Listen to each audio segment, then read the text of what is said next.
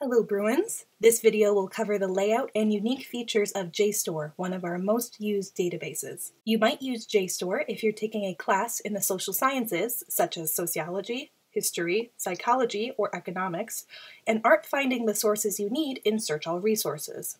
There are a few ways to access JSTOR. If you're in one of those social science courses, you should find a link to JSTOR on your research guide, from our homepage, you can also click Search Article Databases to access the alphabetical list of all of our databases, and there you can find JSTOR listed under J. The landing page for JSTOR is a simple search box. If you're more comfortable with an advanced search, you can find that option located just below the search box and towards the top of the page. If you're unfamiliar with an advanced search, it's a page that allows you to add multiple filters at once.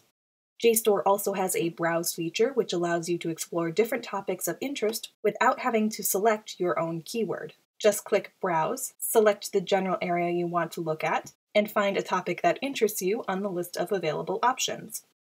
The search results page should look more or less familiar to you if you've seen our database basics tutorial or have done library research in the past. You can find the options for narrowing your search available on the left side of the page, these include the ability to select a preferred source type, whether that's an academic source like a book chapter or an article, or a primary document or original text, the ability to select a publication date, and the ability to select a subject to help you narrow your search.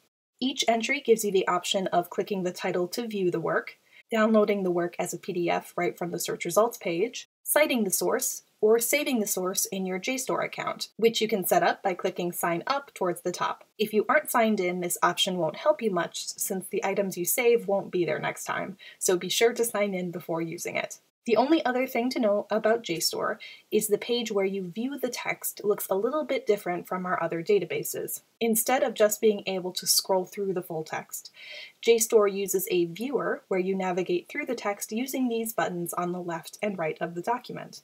So if you only see one page, don't panic, just click the arrow to continue reading. You can also come back to this document at any time using the link provided on the left side of the page. This is also where you will find information about the author, publisher, and in the case of a book chapter, the book it was published in, including other chapters you might want to skim through to see if they're also worth using.